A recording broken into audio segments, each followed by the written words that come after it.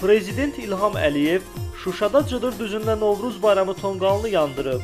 Bununla bağlı görüntüləri birinci vitse-prezident Mehriban Əliyeva özünün Instagram səhifəsində paylaşıb.